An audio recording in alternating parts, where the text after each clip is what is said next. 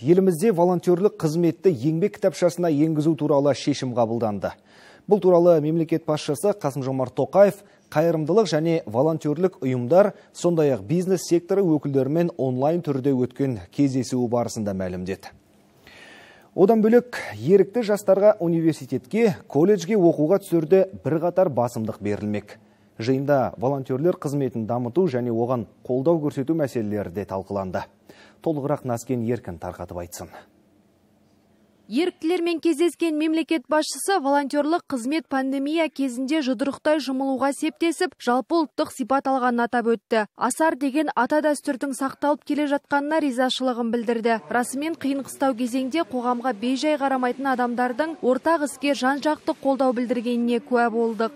Мы завезли 97 тысяч экспресс-тестов. Біз пандемия кезінде елге 97 мың дана экспресс-тест сатып алып, оны Алматы мен Нұрсұлтан қалаларына үлестірдік. Сондай-ақ екі мобильді ПТР зертханасын алу үшін қордан 4 миллион доллар қаржы бөлінді. Қазір бірнеше қайырымдылық жобалармен жұмыс істеп жатырмыз. Мы не обделили вниманием. Пандемия кезінде біздің назардан бірінші, екінші топтағы мүгедек жандар да тыс қалмады. Оларды протез, есту аппараты сияқты қажетті заттармен қамтыдық. Еліміздің бірнеше өңірінде мектеп жасындағы көру қабілеті нашар балаларға керекті аппараттар сатып алдық.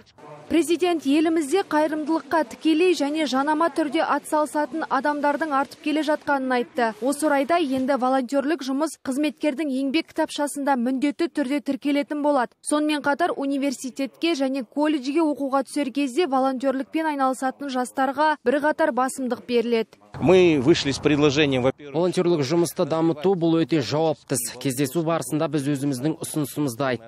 Мәселен қала бюджетінен оңтайландыру үшін мектептер мен жоғарғы оқу орындарының базасы арқылы түрлі балалар үйірмелерін спорт секцияларын тегін үйретуді қолға алуға дайынбыз. Ол үшін бізде барлық ресурстар да қажетті мамандар да жеткілікті. Тәжірибеміз де мол. Қазіргі таңда Қасым Жомарт Тоқаевтың тапсырмасымен түсінікті әрі тиімді болатын қайырымдылық туралы заң әзірленуде. Жалпы бүгінде табысын қайырымдылыққа бағыттаған ірі бизнесті 3 пайызға, ал шағын және орта бизнесті 4 пайызға салықтан босату заңнамалық тұрғыда қарастырылған. Алайда бұл жеңілдіктерді шағын және орта бизнес саласы әлі де пайдаланбай отыр. Сондықтан мемлекет басшысы бұған қайта талдау жасап, тиісті жұмыстар жүргізуді тапсырды. Менің ойымша бұл өте дұрыс шара. Адамдардың мысалы индивидуалды түрде көмектесу мейірімді шараларға қатысу осында дамыту керек және бұл сұрақты кеңейту керек деген сөздерді естідік президенттен. Біз оны қолдаймыз. Толығымен себебі бұл сұрақты мен үш жыл бойы көтеріп отырмын және өзінің мәресіне жетеді деп ойлаймын.